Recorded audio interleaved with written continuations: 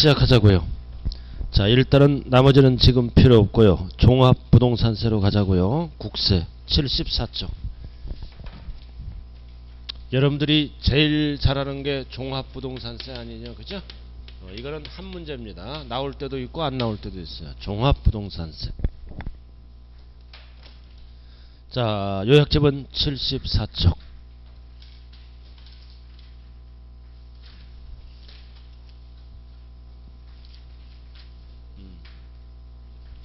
폈어요? 자, 종합부동산세는 지금부터 국세요, 국세. 그리고 종부세는 물세다, 인세다, 인세. 종합부동산세는 인세라고요. 그럼 법에서 인세라면 세금 계산을 어떻게 합니까? 소유자별로. 소유자별로 항상 합산하죠? 어, 너는 재산이 많으니까 합산과세 한다고요. 그래서 합산하니까 세율도 변동되게 곱해야죠. 무조건 무슨 세율을 쓴다. 합산하는 것은 초과 누진세율로만 계산한다고요. 종합부동산세는 소유자별이에요. 개인별로 법인은 법인별로 계산하고 개인은 개인별로 계산합니다. 절대로 종부세는 세대별 합산한다. 틀린 지문입니다. 물세가 아니라고요. 소유자별로 합산하니까 세율도 높여야죠. 비례 세율을 쓰는 게 아니라 초과 누진 세율을 쓴다고요. 자, 칠판 주목. 자, 그리고 이제 부가징수는 원칙이 뭐예요? 고지납부죠? 고지납부를 국세에서는 뭐라 그래? 정부가 결정해서 부과하는 고지납부입니다. 그러나 예외는 뭐다? 신고 납부 할 수 있다. 납부 방법은 두 가지예요. 원칙은 고지 납부예요. 정부가 결정해서 부과한다. 선택하면 뭐 할 수 있다.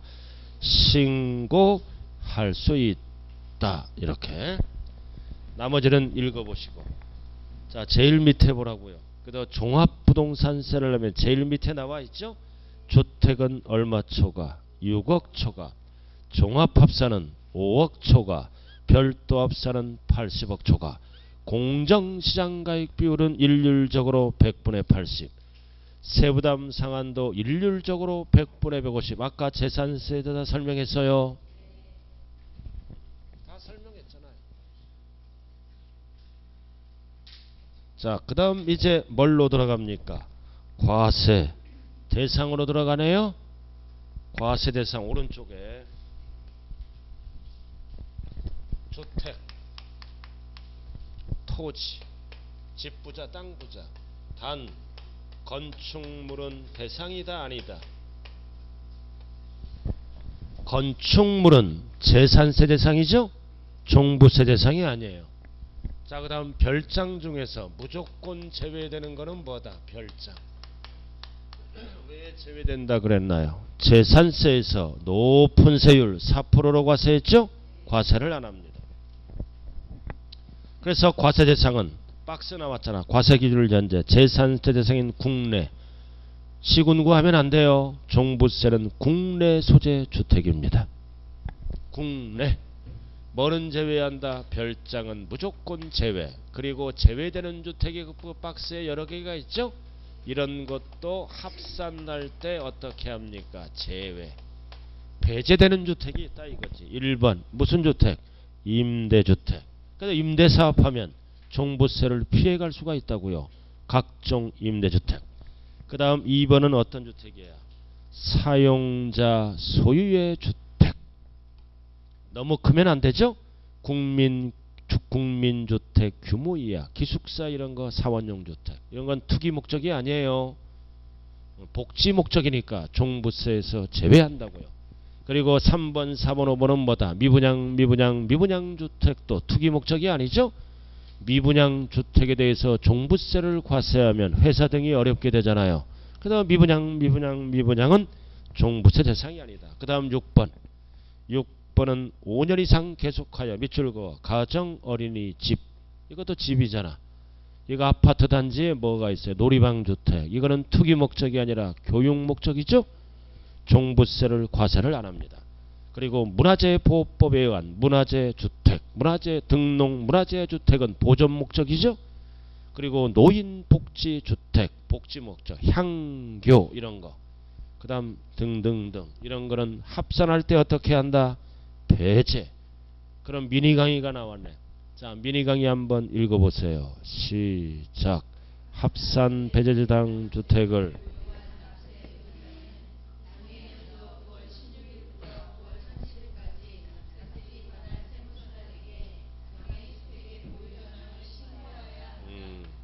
합산 배제해달라고 가을에 신고하는 거죠? 신고하여야 한다. 안 하면 합산해버려요. 여기에 별장이 들어가면 안 돼요. 별장은 신고 여부와 관계없이 무조건 제외한다고요. 나머지 1번부터 10번 등은 반드시 신고를 해야 돼요. 가을에. 안 하면 종부세를 부과해 버린다고요. 가정 어린이집 일명 놀이방 주택이죠. 그죠? 요즘 수도권이나 일부 학교는 애들 학교 안 가잖아요. 애들 학교 안 가니까 다 어디 모여 PC방 난리 났어 PC방 팍막 그래 어. 맞벌이 하잖아 집에 아무도 없잖아 가둬놓는 것도 하루야 어. 어. 엄마 퇴근할 때 되면 안 갔다 온 것처럼 집에 쏙 들어와 난리 났어 지금. 수도권은. PC방이 막 자리가 없어. 야 집에 가만히 있어라. 애들이 가만히 있겠냐고. 어, 막 싸돌아다니면서 갈 때는 PC방 봐참 문제예요 그죠? 어. PC방 한 번 가면은 중독되는 거야 이제. 어. 무슨 오락실 차릴 것도 아니고 미래에. 자 주택은 끝났네요. 자 그 다음 토지 자 토지는 뭐와 뭘로 구분한다? 종합합산. 그리고 별도 합산. 그리고 재산세는 분리과세로 이렇게 구분했죠. 그러나 분리는 종부세 대상이다 아니다? 아니다. 그래서 토지 중 토지 중에는 분리 과세대상 토지는 제외. 그래서 종부세를 계산하는 방법은 몇 가지가 있다?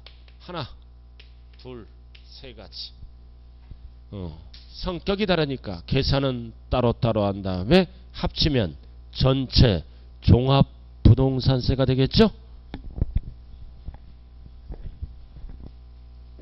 자, 그 다음 밑에 보라고요. 밑에 과세 대상이 되는 부동산의 비교. 그래서 재산세는 다 동그라미예요. 그러나 종합부동산세는 주택 중에 뭐는 제외한다. 별장. 그 다음 토지 중에는 뭐는 제외한다. 분리. 그 다음 제일 밑에는 주택 이외의 건축물. 재산세는 동그라미죠. 어, 종부세는 X. 그러니까 종부세 끝났잖아 이제. 이 정도만 하면 다 할 수 있어요. 자, 넘어가죠.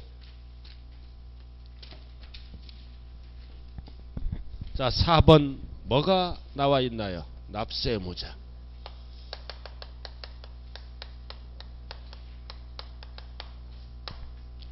자, 주택부터 들어가죠. 항상 종부세는 출발이 뭐다? 국내에 있는 알아들었나요? 뭐를 갖고 따진다? 공시가격 합쳐야지요. 얼마 초과하는 자 6억을 초과하는 자는 초과분은 다시 한번 종부세를 내야 돼. 종합합산은 숫자만 다르죠? 5억을 초과하는 자 별도 합산은 80억을 초과하는 자 절대 숫자 뒤바뀌면 안 돼요. 6억, 5억, 80억 초과. 이 정도는 기억하고 있지 않습니까? 인간적으로. 세 번째 듣는 거잖아요. 그죠? 기억난다 그래 안 나도. 6억 5억 왜 이해가 5억이야? 제일 숫자가 적네? 숫자가 작네 이거. 투기 목적이니까 이해는 왜 이렇게 커? 사업 목적이니까 숫자가 커야죠. 어, 주택은 6억. 됐죠? 자, 그 다음 과세 표준으로 들어갑니다. 이제 과세 표준. 과세 표준은 출발이 어떻게 돼요? 공시가격을 합치죠. 합칠 거 아니에요 이제. 그래서 공시 가격을 합쳐. 여기서 얼마를 빼야 돼? 6억. 그래 초과가 나오니까 여기다 반드시 뭐를 곱한다? 공정시장가액 비율을 곱해야 돼요. 일률적으로 몇 프로? 80%. 재산의 가치를 내려준다고요. 그럼 예를 들어서 공시가격이 10억이야. 6억을 빼면 얼마가 나와?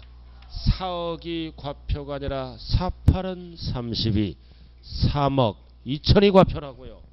그래서 재산세든 종부세든 이 예를 물어볼 때는 반드시 옆에 뭐가 붙어야 돼?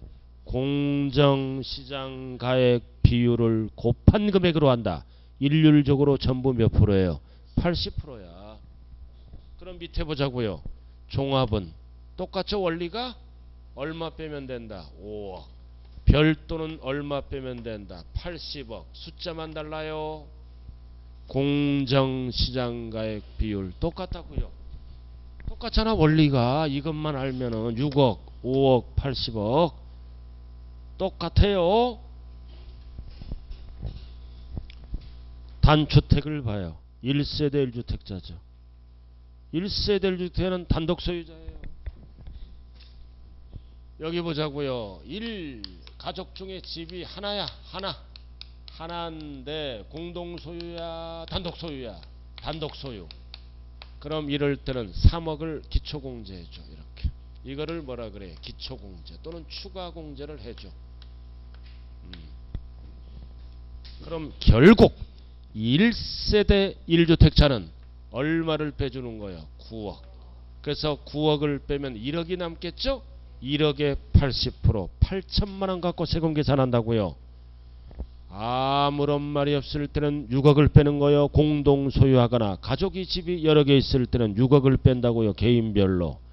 그러나 1세대 1주택자 단독 소유자라고 나오면 3억을 먼저 뺀다고요. 6억은 나중에 빼고 밑에 나와 있잖아요.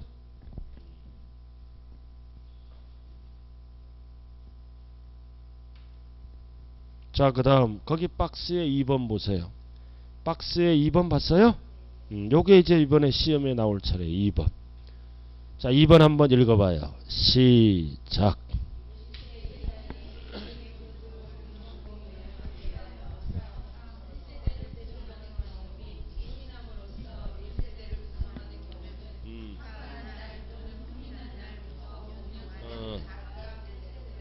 자, 기준점은 몇 년 동안? 5년 동안은 과세하지 않는다 그러면 안 돼요.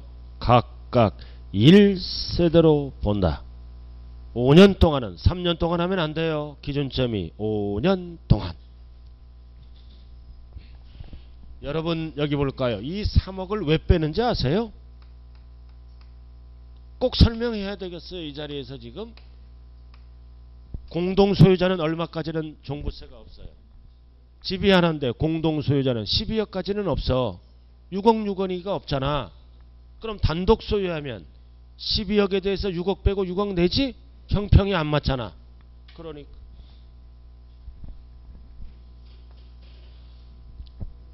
남자, 여자, 부부야 부부, 부부 공동 소유라고요. 집이 하나인데 알아들었나요?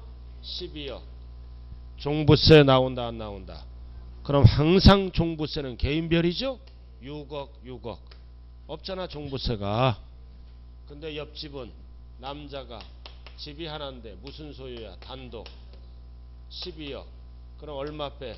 6억 빼면은 6억에 대해서 과세하잖아요. 그죠? 얼마 차이나? 6억. 그럼 이 집은 부부싸움 하잖아. 그러니까 부부싸움 못하게끔 먼저 빼주는 거야? 3억. 그래도 3억 차이가 나지? 그거는 어디에서 빼줘? 이제 세액공제를 해줘. 그래서 공동명의자와 뭐다? 형평성을 맞춰야죠? 그래서 3억을 무조건 뺀다. 어디에서 빼는 거예요? 공시가격에서. 이해되죠? 자, 그 다음 2번. 2번 집은 잘 봐야 돼. 이거 5년 동안. 자, 여기 보자고요. 남자. 집이 하나야. 공시 가격 8억. 집이 하나라고요. 단독 소유. 여자 단독 소유 집이 하나 7억. 음, 이거 남남이에요. 알아들었나요? 남남. 그럼 단독 소유라 가정하면 종부세 있다 없다. 이해도 없다. 9억까지는 종부세가 없잖아. 단독 소유자는 개인별로 따지니까. 그래서 이해가 어떻게 합니까? 이제 혼인합니다. 나이트 나이트 클럽에서 만나서 혼인해. 그럼 혼인 낳는 순간 1세대 2주택이 돼 버리지? 그럼 이해도 6억 빼고 과세. 이해도 6억 빼고 과세로 전환되잖아. 알아들었나요? 그래서 혼자 살 때는 안 냈잖아. 합치니까 이제 6억 빼고 2억, 6억 빼고 1억에 대해서는 종부세 계산이 들어가죠? 그러니까 몇 년 동안? 5년 동안은 각각 1세 들어봐서 세금 혜택을 주는 거예요. 5년 동안이에요. 그럼 6년째부터는 종부세가 나오겠죠. 그럼 5년 많이 살고 6년째는 이혼하면 되고 그럼 계속 세금 안 내고 그 다음 부모님 모시는 것도 똑같아요. 동거복량. 5년 동안은 각각 1세대로 본다고요. 그럼 부모님도 5년까지는 세금 혜택을 받죠? 6년째는 내 쫓아버리고. 아, 며느리가 5년 모시면 굉장히 장수한 거예요. 그죠? 5개월 모셔도 좀 쓰셔요. 음. 그래서 여성분들은 시부모를 안 모시는 게 최대의 행복이라고 생각하세요. 아무리 불만이 있더라도 사귀면서 인생을 살아야 돼요. 아 저는 장모 모셔봤다니까. 나는 장모 모시니까 너무 좋더라고. 우리 어머님보다 더 좋아. 장모가 내 눈치 보잖아. 살살살살. 어, 그럼 탁턱 밑에 가서 막 얘기하는 거야. 일요일 같은 때도 장모 TV 이렇게 보고 이렇게 하면 옆에 가서 막 얘기 붙여주면 좋아해. 막 쓸데없는 얘기 막 하는 거야. 장모가 막 욕하면 같이 막 욕해줘야 돼. 그럼 좋아해요. 그럼 나 이제 출근하면 우리 와이프랑 저놈은 왜 저렇게 욕만 하냐.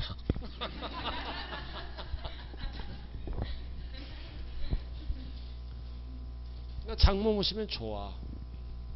늦게 들어가도 와이프가 기가 팍 죽어 있어. 조용해. 목소리도 살살살살. 어, 외박하고 와도 어, 왔어 이렇게 끝나.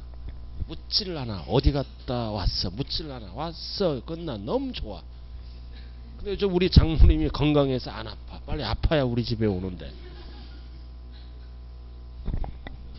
나 그런 놈이에요. 자, 그 다음 밑에 이제 세율. 자, 이렇게 해서 과표가 결정되죠? 세율.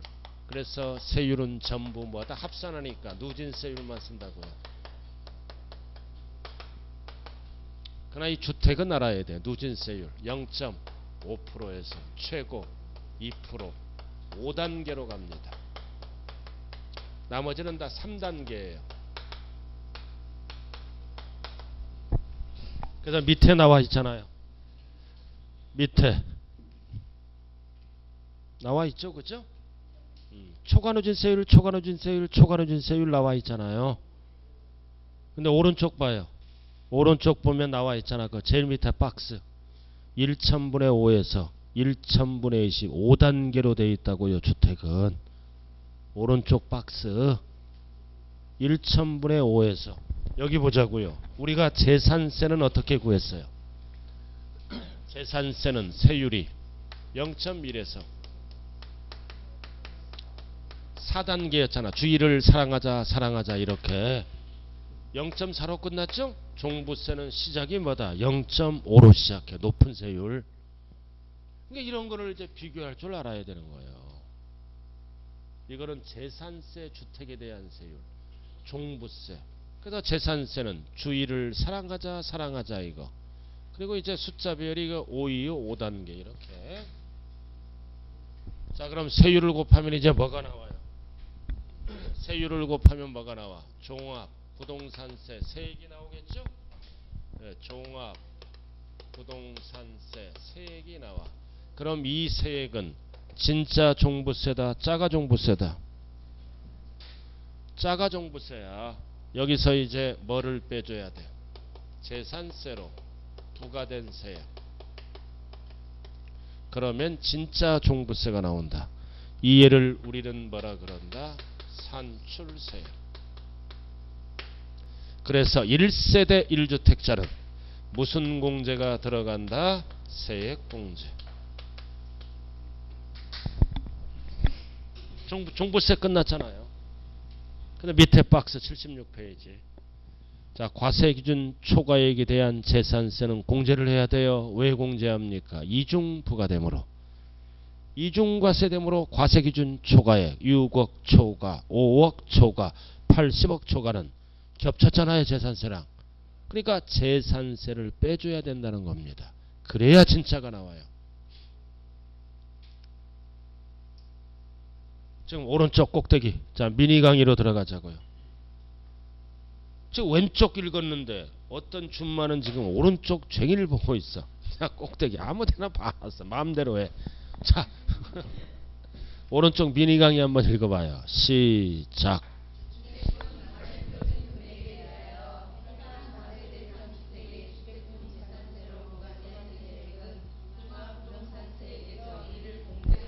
뭐를 빼준다? 주택분 재산세 재산세 왜 빼죠? 이중과세 됐으므로 이중과세 되므로 이중과세 하면 안 되잖아요.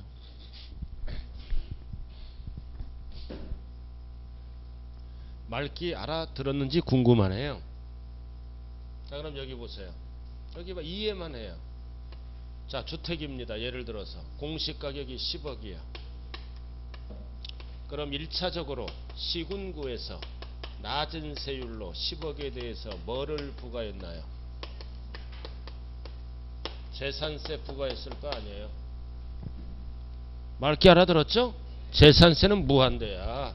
근데 종부세를 다시 한번 부과해야죠? 6억 초과되니까. 6억 초과되는 부분이 얼마야? 4억. 그래서 시장 비율을 써서 계산하죠? 그래서 국가에서 2차로 무슨 세금을 부과합니까? 종부세. 이렇게. 그럼 이거 겹쳤잖아. 6억 초과되는 부분은 겹쳤죠? 5억 초과되는 부분은 겹칠 수 있죠? 뭐 똑같아 원리는. 이중과세잖아. 그럼 이중과세 하면 유연 소지가 있어요. 그래서 이 금액이 나오면 이거는 짜가 종부세잖아. 그럼 요 부분만큼 어떻게 한다? 빼준다. 그럼 이게 예를 들어서 100만 원이야. 전체가. 근데 요 부분 재산세 납부했죠? 이게 40만 원이야. 그럼 100만 원에서 얼마를 빼? 40을 빼면 확정된 종부세는 얼마야? 60만 원. 그래서 재산세를 빼준다 이거지. 맑게 알아들으셨나요? 어, 맑게만 알아두면 중요해. 자, 그 다음 오른쪽. 이제 4번. 자, 드디어 나왔다. 1세대 1주택. 세액공제죠? 어, 중복이 가능하네. 왜 중복이 가능할까요? 이거는 세금 혜택을 주기 위해서 만든 법이잖아요. 그럼 연령별 공제는 몇 세 이상? 60세 이상. 그래서 5살 단위에 따라 공제율이 다르죠? 10%, 20%, 30%. 나이 잘 따져줘야 돼요. 70세 이상은 최대 몇 프로? 30%. 그 다음 오른쪽 보유기간별 공제 나와 있죠? 이거는 장기 보유 몇 년 이상입니까? 기준점이 5년 이상. 5년 이상 10년 미만에 들어가면 몇 프로 공제받아? 20. 10년 이상일 때는 몇 프로? 40. 그럼 최대 공제율은 몇 프로예요? 최대 공제율은 70이지. 10년 이상 보유하고 나이가 70세 이상일 때는 70%까지 빼줘. 그럼 세금이 거의 없다는 얘기예요. 10년 이상 보유하고 70세 이상은 중복 가능하니까. 됐죠? 자, 그 다음 5번 봐요. 세부담 상한. 아까 배웠죠? 세부담 상한은 일률적으로 전부 뭐다? 100분의 150. 밑에 박스 위에 100분의 150이라고 나왔잖아요. 총세액 상당액의 100분의 150.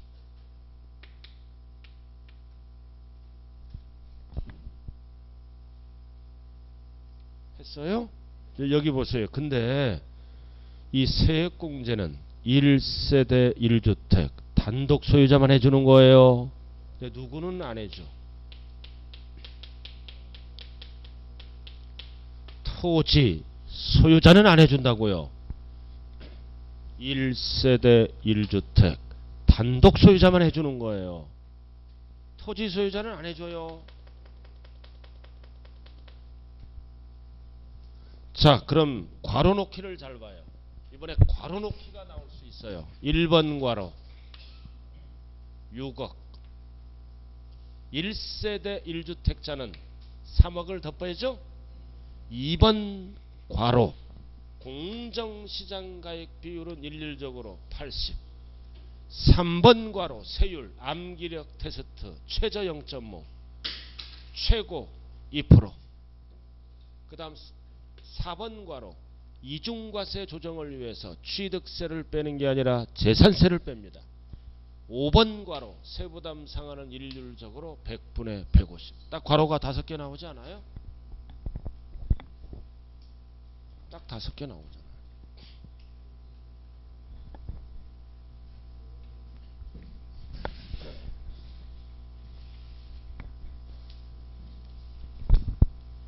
자, 그 다음 밑에 보라고요. 자, 밑에 지금까지 강의한 거 나왔잖아요. 밑에 오른쪽 1세대 1인 단독, 단독, 단독 소유네. 그럼 출발, 공시가격 합계해서 3억 빼고 6억 빼죠?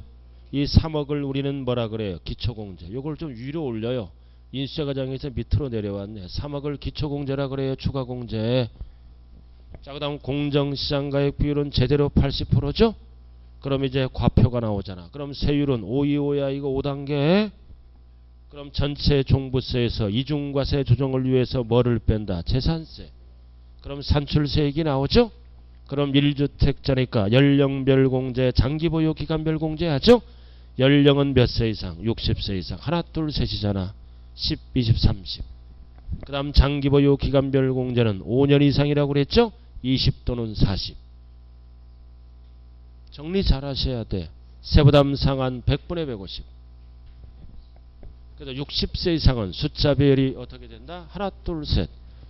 60세 이상은 운동을 많이 합시다. 하나, 둘, 셋. 네, 운동하고 이제 공원에서 할머니 만나서 5 이사 갑시다. 5 이사 숫자 배열. 60세 이상 공원에서 운동 많이 하잖아. 하나, 둘, 셋. 가다가 봄날에 할머니 만났지? 둘이 이제 정이 쌓였어.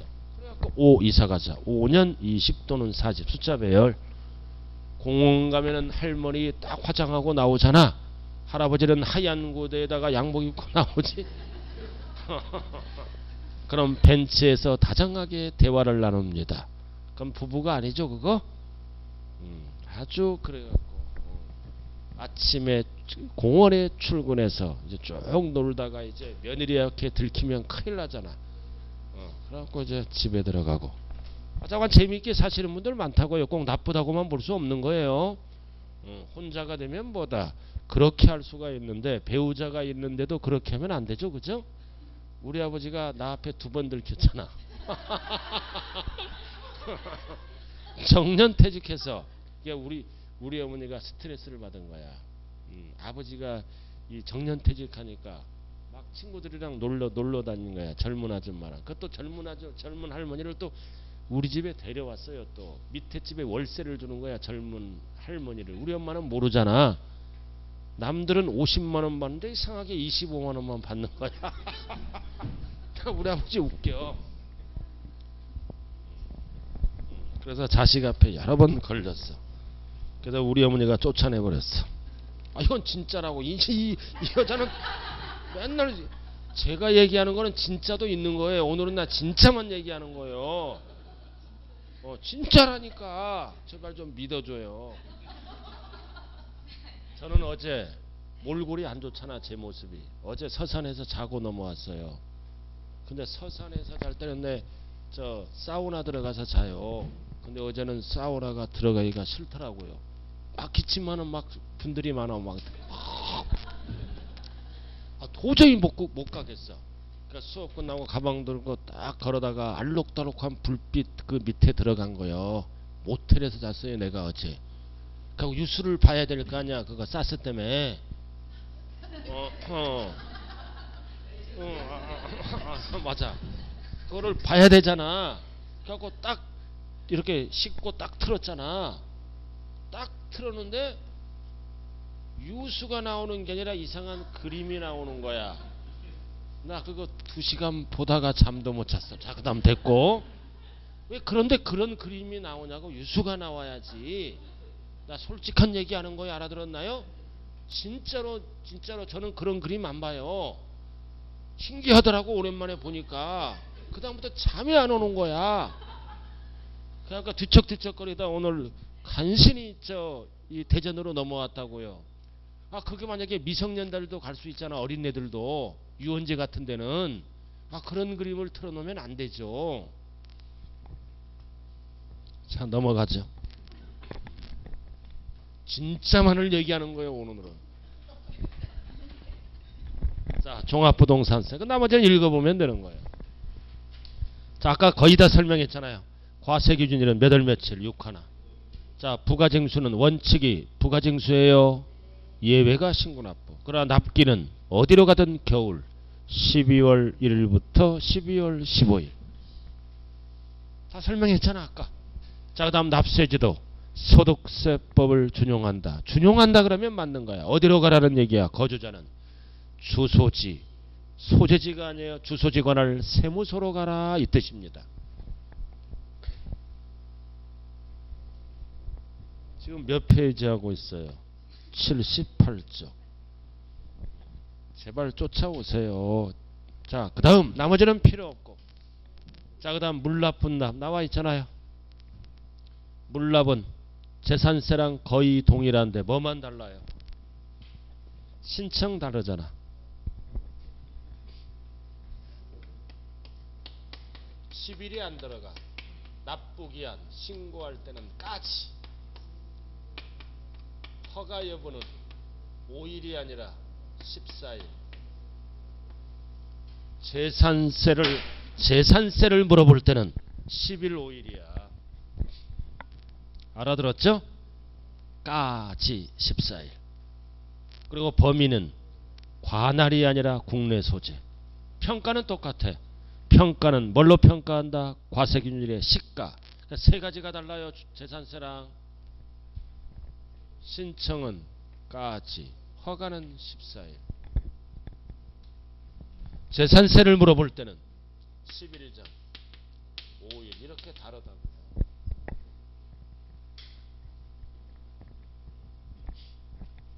자, 그 다음 분할 납부 보라고요. 똑같은데 뭐만 달라? 분납 기간 45일이 아니라 몇 개월? 2개월. 나머지는 똑같아요. 원리가. 똑같다고. 한도 봐요. 한도. 천만 원 이하일 때는 오른쪽 500만 원을 차감한 금액. 똑같은 지문이 뭐다? 초과하는 금액. 똑같은 거요. 법조문이 이렇게 나온 거야. 차감만 금액이 뭐다? 초과하는 금액 똑같은 거라고요.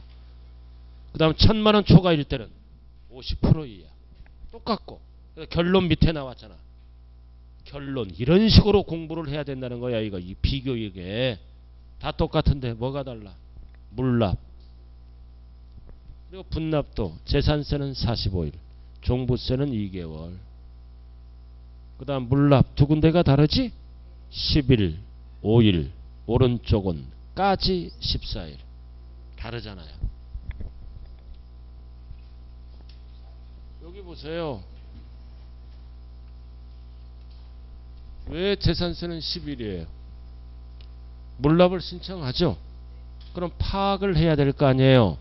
관리 처분이 적당한지 부적당한지 알아들었나요? 파악 기간을 10일 주는 거야. 허가 여부는 5일이고 그럼 여기 보세요. 그러면은 여기서 파악이 다 끝났지? 끝났잖아요. 그럼 이제 종부세에서는 파악을 하지 않아요. 알아들었나요? 여기 보세요. 예스가 떨어지잖아. 5일 이내에. 그러면 이제 전국에 있는 시장군수 구청장은 옛날에 재산세 냈죠. 전국에 있는 시장군수 구청장은 그 재산세 자료가 행자부로 올라갑니다. 행자부로 올라간다고요. 그럼 행자부 입장에서는 전국에 있는 재산세 과세 자료가 나오죠. 그럼 그거를 합산해서 종합부동산세를 계산한다고요. 그래서 종부세는 어디에서 계산해요? 행자부에서. 그래서 이 재산 종부세 자료를 국세청으로 넘겨. 그럼 국세청은 뭐다? 종부세 계산이 다 끝난 거야. 행자부에서. 그럼 국세청은 제 날짜가 되면 엔터 딱 누르면 고지서가 딱 발행이 되는 거예요. 그러니까 여기만 11서 파악할 시간이 안 줘. 여- 여기서 지자체에서 파악이 다 됐으니까 그러니까 까지 신청만 하면 되는 거야. 그 대신 덩어리가 크지 5일이 아니라 14일입니다. 결국은 뭐다? 합치면 숫자가 비스름해요. 절대로 10일이 들어가면 안 돼요. 종부세는 까지까지 14일. 재산세를 물어볼 때는 5일 10일 또는 11일 5일 이렇게. 무턱대고 암기하지 말고 좀 생각하면서 암기하라고요. 어차피 일어나면 깎아먹을 거니까. 까먹다 보면은 우리는 60점을 향해서 갑니다. 자, 79쪽. 가상금 아까 다 했죠? 재산세랑 똑같은데 중가상금만 다르잖아요.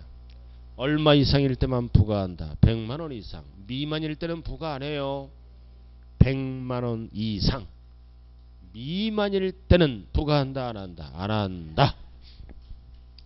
자, 그다음 부가세는 농어촌 특별세 20%죠? 절대로 지방교육세가 나오면 안 되고. 그 다음 6번 비과세 면제 경감은 재산세 규정을 어떻게 한다? 준용한다. 재산세가 비과세면 종부세도 비과세라고요. 준용한다 그러면 맞아. 그럼 결론 재산세 종부세 동일한 것만 찾아. 첫 번째 6월 1일 동일. 다 다르잖아. 6월 1일 동일하잖아. 음, 나머지는 다 달라요. 알아들었어요? 음. 다 다르잖아. 재산세 종부세랑. 그렇지 않습니까? 잠 안 올 때 잘 봐주세요. 자, 이렇게 해서 종부세까지 끝났네요. 자, 칠판 한번 보자고요. 칠판 한번 봐요. 주택, 종합합산, 별도합산 숫자죠? 6억, 5억, 80억 초과. 그리고 과세 표준을 물어볼 때는 6억, 5억, 80억을 뺀 다음에 뭐를 곱한다고요? 공정시장 가액 비율을 곱해야 돼요. 일률적으로 80%단 1세대 1주택 단독 소유자는 결국 얼마를 공제한다? 9억. 9억을 공제하죠? 그럼 세율은 전부 뭘로 간다? 누진세율인데 주택은 암기해야 돼요. 5, 2, 5, 5단계라고요. 그럼 전체 종부세가 나오면 6억 초과는 중복됐죠? 이중과세 조정을 위해서 뭐를 뺀다? 재산세를 빼면 이해가 나온다. 그럼 이해가 나오면 세액공제가 들어가죠? 연령별 공제와 뭐다? 장기보유 기간별 공제 몇 세 이상? 60세 이상은 하나 둘 셋 할머니 만났지? 장기보유 기간별 공제는 5년 이상이잖아 5 이사가자 20 또는 40단 토지 소유자는 해준다 안 해준다 안 해준다 일률적으로 세부담 상한은 100분의 150 퍼센트로 물어볼 때는 150% 그럼 이거 이해되죠 이거? 4억은 겹쳤다. 전체 종부세에서 40만원을 빼면 확정된 산출세액은 60만원이 된다. 그 뜻이라고 자그 다음에 이제 좀 이제 숨을 돌리고 프린트 한번 보자고요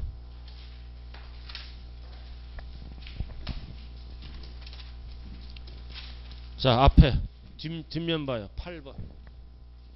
오늘 배웠으니까 8번 풀어보라고요. 지금 풀고 대기 상태에 있죠? 8번 풀어봐요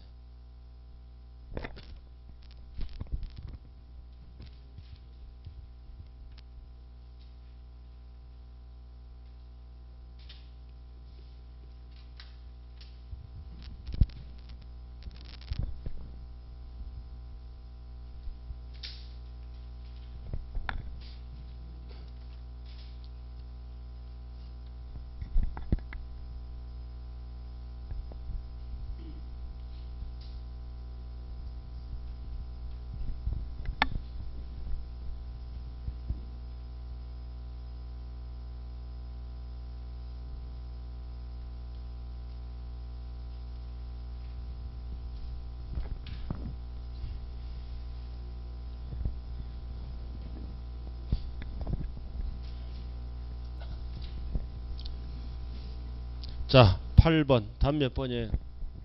몇 번? 빨리 안 불러요. 몇 번? 음. 자, 문제가 뭐예요? 같은 것으로 기억은 종중. 종중은 무조건 원칙이 뭐다? 분리. 그 다음 니은이네. 원령이 보존되는 의미하죠? 여기 봐요. 이게 골프장이잖아. 골프장 옆에 뭐다? 원령이 보존되는 임야가 있잖아. 이거는 사업하는 걸로 봐요. 법에서 알아들었나요? 그래서 어디로 간다? 별도. 자, 그 다음 디귿은 여러분들이 제일 잘하는 거 염전이지? 영이야 염전 가자. 공군 목적이잖아. 어디로 가? 분리. 자, 그 다음 리을은 뭐예요? 리을은 이거 운전학원. 이건 사업 목적이지? 운전학원. 사업하는 걸로 보잖아. 그럼 운전학원은 무슨 합산? 별도 합산. 그럼 같은 거는 별도가 두 가지가 있죠? 그리고 또 뭐가 있어? 분리가 두 가지가 있잖아. 그럼 둘 중에 하나 찍으면 답이네. 그럼 기억과 디귿 1번이네. 답 1번. 그럼 같은 게 또 뭐가 있어? 니은과 리을도 있네. 그럼 니은과 리을이 없잖아. 왜 없어? 없으니까 없는 거지. 니은과 리을이 나오면 복수 정답이 되잖아요. 이상하다. 같은 거는 꼭 별도만 보는 거야. 시험장에 가면 분리는 안 보여.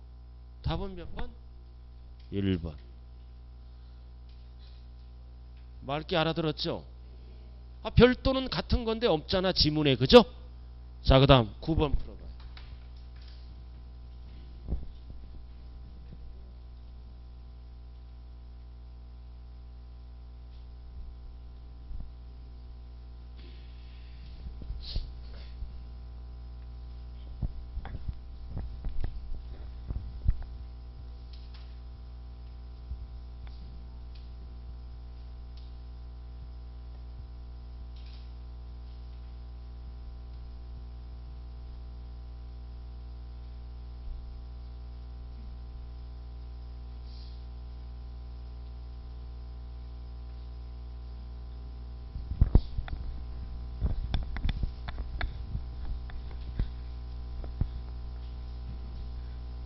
자, 9번에 틀린 것은 몇 번이에요? 자, 1번 종중이네. 불리죠? 자, 그 다음 터미널이잖아. 터미널 영희가 가는 영희가 가는 거잖아. 터미널 공군 목적 분바르고 멀리 떠나려고 분리잖아. 터미널. 자, 그 다음 3번은 공장용지지? 음면이잖아. 음면이니까 공장용지잖아. 범위 아니니까 분리 맞네. 자, 그 다음 4번은 허가등을 받아야 할 무허가 건축물의 부속 토지죠? 무허가 건축물의 부속 토지는 투기 목적이잖아. 종합 맞잖아요. 그럼 답은 몇 번밖에 없어. 5번. 참 쉽잖아요. 그죠? 5번.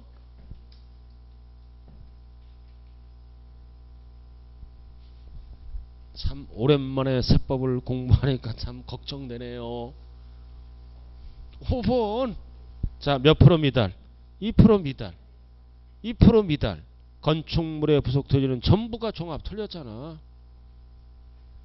바닥 면적 제외가 종합이죠. 여기 보자고요. 몇 기준점이 몇 프로 미달? 2% 미달. 이럴 때는 기준 면적이 필요 없어요. 미달자가 들어가면 바닥 면적은 뭘로 갑니까? 별도. 그죠? 바닥 면적을 제외한 거는 투기 목적, 종합 합산. 이렇게 나눠진다는 거야. 1번과 2번으로. 아, 전체가 종합 틀렸잖아요. 전체가 별도 그러면 안 돼요. 바닥 면적만을 물어볼 때만 별도. 바닥 면적 제외를 물어볼 때만 종합합성. 답이 5번이라고요. 그럼 종합으로 갈 때는 어떻게 해야 돼? 건축물의 부속 토지 중 바닥 면적 제외 그러면 맞는 거야.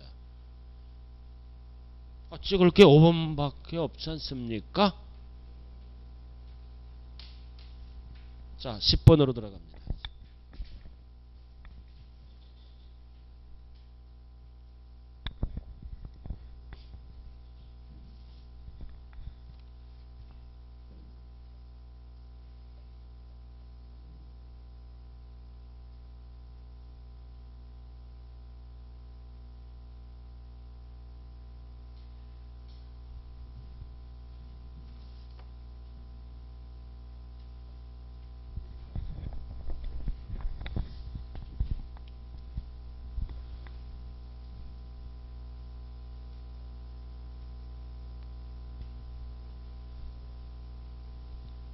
몇 번이에요? 1번, 2번, 3번은 왜 틀렸어요? 공정시장 가액 비율이 안 붙었잖아요. 땡. 1번 토지와 건물 일체 하나로 과세하죠? 개별 주택 가액에 이게 시가표준액 아니에요. 뭐가 붙어야 돼? 공정시장 가액 비율 없잖아. 2번 시장군수구청장이 결정한 가액이 시가표준액이지 공정시장 가액 비율 없잖아. 그 다음 3번 역시 없잖아요. 답이 4번이네. 시가 표준액에 60%부터 이 60%가 뭐야? 공정시장가액 비율을 곱하여 맞잖아요. 4번밖에 없잖아요. 그 다음 5번은 법인장부 이거는 취득세 지문이에요. 5번은 어디처럼 가야 돼? 5번은 2번처럼 가야 돼. 2번처럼 가야 맞는다고요. 공정시장가액 비율을 곱하고. 아, 법인장부 이런 거는 취득세 지문이에요. 장부가 필요 없어요. 재산세는 시가 표준의 기준입니다. 자, 11번.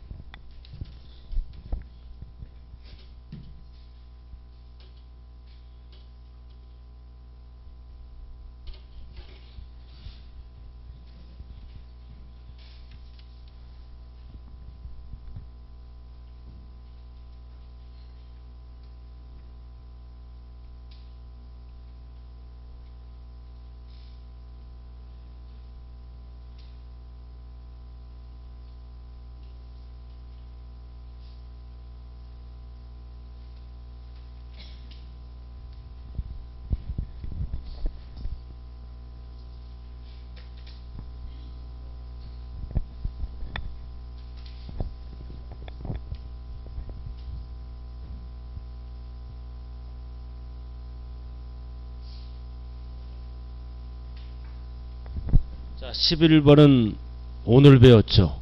몇 번이에요, 답이? 1번이잖아. 상속받았죠. 등기는 안 됐지만 신고했잖아. 아, 신고가 되면 사실상 소유자인 상속인에게 납부할 의무가 있죠. 틀렸잖아요. 아, 상속인이 납세무자가 되는 거예요. 그러니까 이 지문이 신고를 아니 했다 그러면 맞는 지문이에요. 아, 둘 중에 하나가 돼 있어요. 그럼 사실상 소유자인 누구가 되나 상속인 또는 상속인 각자 이렇게 되죠.